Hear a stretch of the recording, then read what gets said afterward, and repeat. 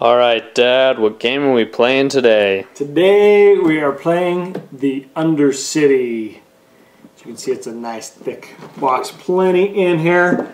Plenty of uh, pieces out here on the map. Plenty of miniatures. Even more hanging out here behind me that aren't in this particular scenario. But whew, it's a cooperative adventure game where we all work together to accomplish some objectives and beat the bad guys. It's kind of cool. Do you like it? I do. I've liked it. Uh, there's a number of things that uh, at first I was kind of taken back by. Um, for example, the map. When I looked at it, I thought, well, that's kind of plain, plain compared to other dungeon crawls. All these tiles are really just protect walls.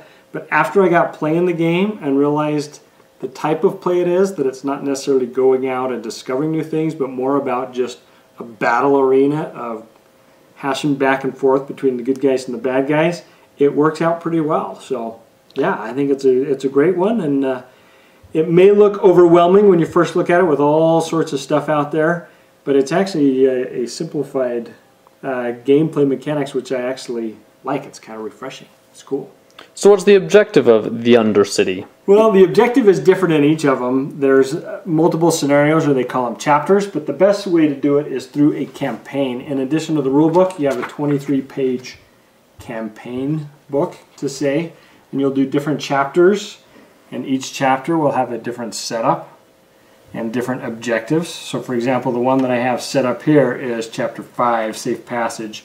It shows you which villains are going to be in play, shows you how to set up the walls, different gates, there's going to be different terrain tiles. For example, here, other scenarios may have different things on their tiles, um, back and forth, there's all sorts of things. And it'll tell you, based on the number of the tile, where to set them all up and tell you what the objectives are, and then you're off and running. Cool. And uh, you win the campaign if you win if you beat every chapter. There's seven chapters. If you lose one of the chapters, game's over.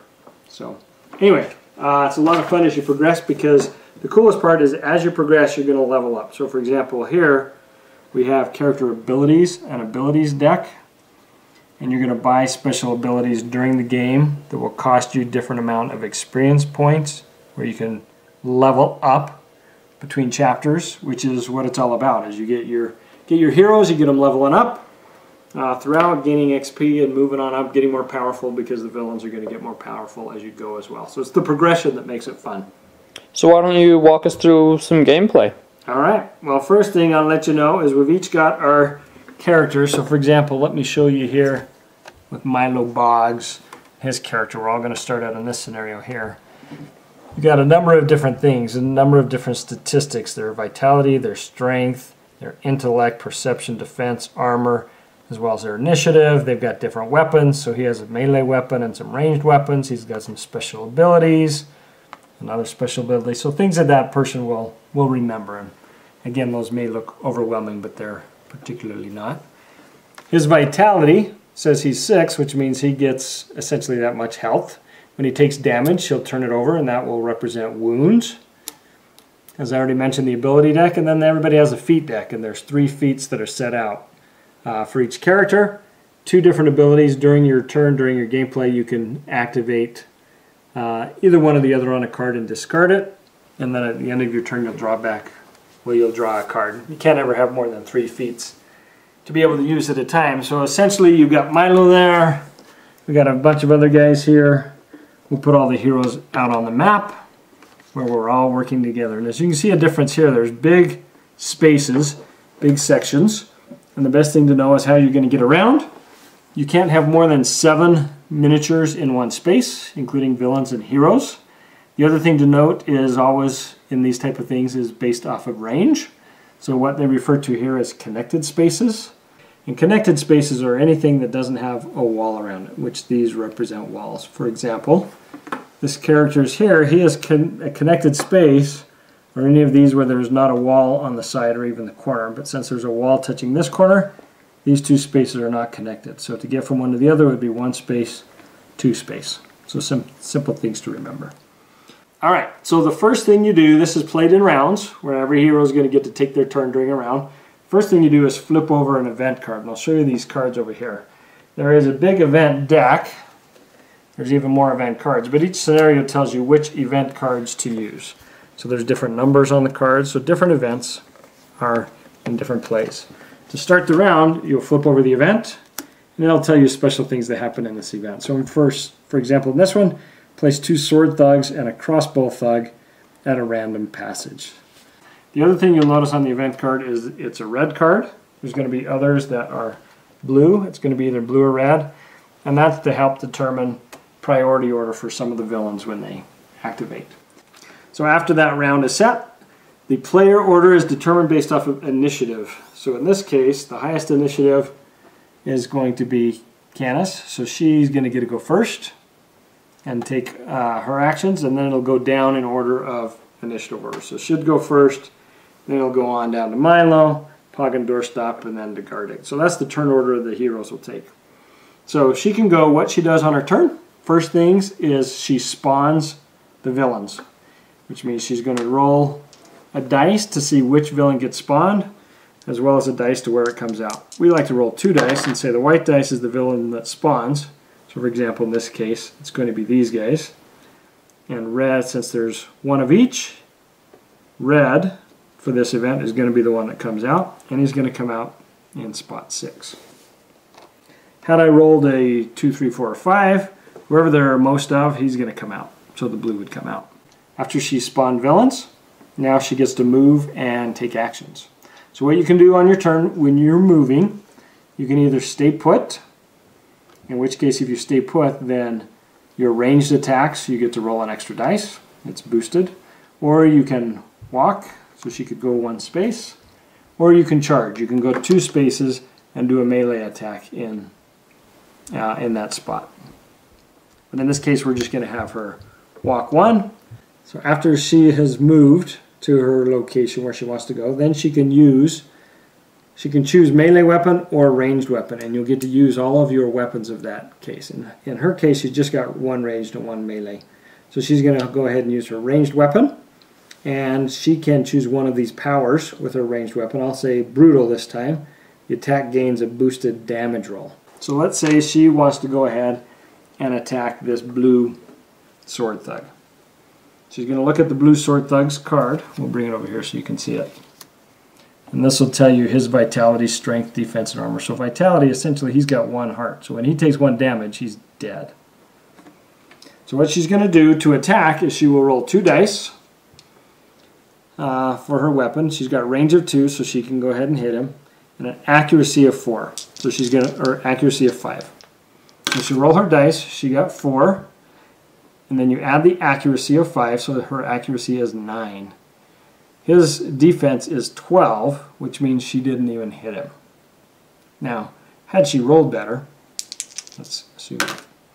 There we go. She got a 10 plus an accuracy of 5. That makes 15. And she's higher, equal to or higher than the defense, then she scored a hit. See if that person took damage. So in that case, you're going to look at power. Uh, and with her brutal, she says this attack gains a boosted damage roll. So now we're rolling for damage, had she hit, of course. We get a boost with another dice. We will roll three dice. So there you've got 10, plus her power of 8 puts her at 18. Now you'll compare their armor, and she definitely caused some damage. If it's 4 or less uh, in excess of the armor, it's 1 damage. But since she rolled an 18, which is 6 more than his armor, he's going to take 2 damage. Of course, he could only take one damage before he's dead, so had she hit him, then she rolled that damage, then he would be gone. He's not dead, he would just go back into the reserves. Okay?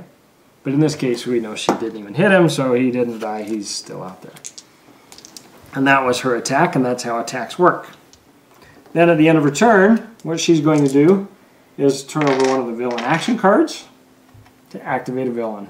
And this one it says pressure point.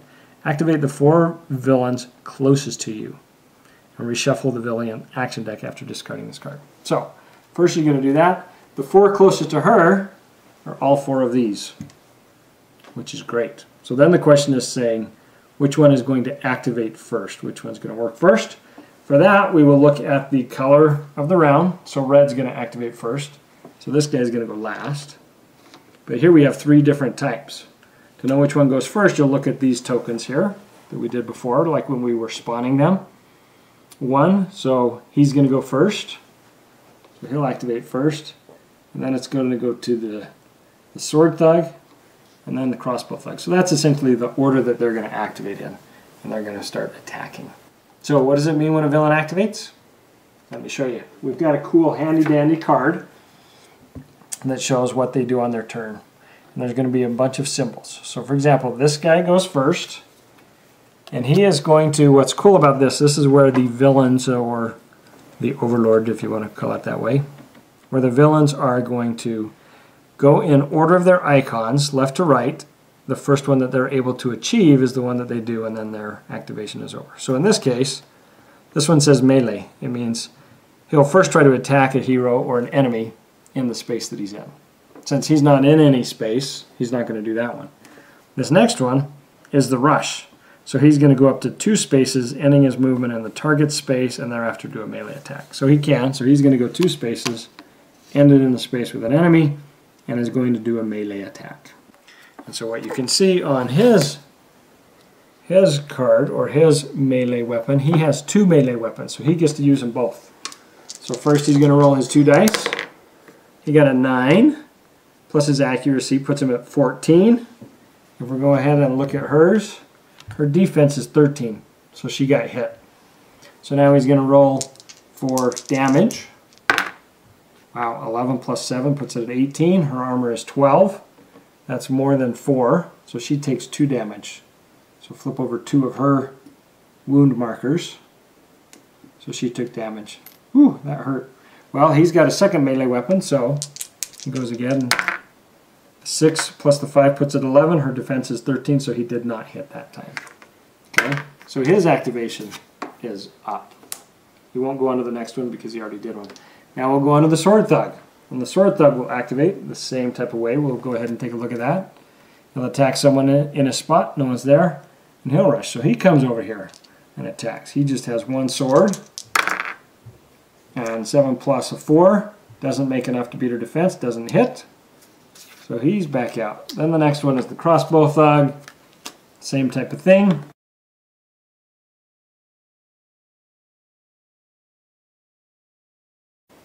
Whew!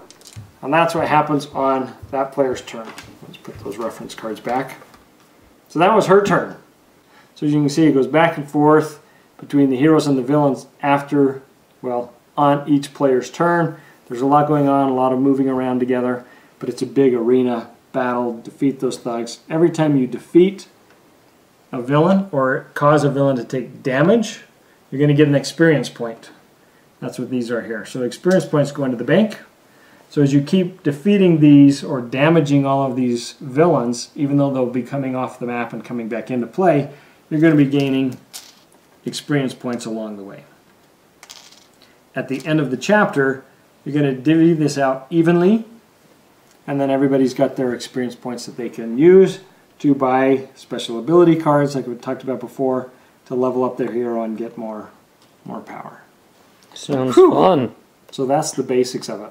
There's other there's other chapters, other scenarios that come into play with uh, big some of these big baddies coming in after a little while when something else is activated. Some some bosses will come into play. Um, in this scenario, as I mentioned, the goal is to get Ambrose to the other side. To do so, you have to close some of these gates that are they're coming out. Then you've got to come over here and you actually have to move with him to escort him to the other side. So knowing who to go after which uh, monsters, who to bring him along, how to close the gates. There's a lot of things to talk about as a team and figuring out. But every every chapter is a little bit different, a little unique objective. Whew! But that's the basics of, of how you play the Undercity. All right, sounds good. What would you rate the Undercity? Oh, that's a good question. I would rate it a 3.8. I think it's a very good uh, mechanism. One of the things that I like best about it is that we're all on the same team. When I've played other dungeon type games, it's usually I'm the overlord and all the boys are coming after me as the heroes and I'm and I'm tired of getting beat down all the time and feel like they're teaming up and I'm always being fought against. In this case, I can play with my boys all on the same team and really let the cards and the dice dictate what the villains do and so we can really uh, work together, collaborate a little bit. We know each other's abilities and feats to know who should be taking out which monsters, who should be going to help out, who should be closing gates, what they what they could be doing, and really, you could go ahead and create your own maps, create your own decks, bring out your own villains, and see how they're going to work together. Um, it's really open ended in that regard, so it's kind of cool that way. It leaves uh, some creativity, but definitely a lot of dice rolling. Uh, thumbs up. You got to check it out. All right, thanks, Dad.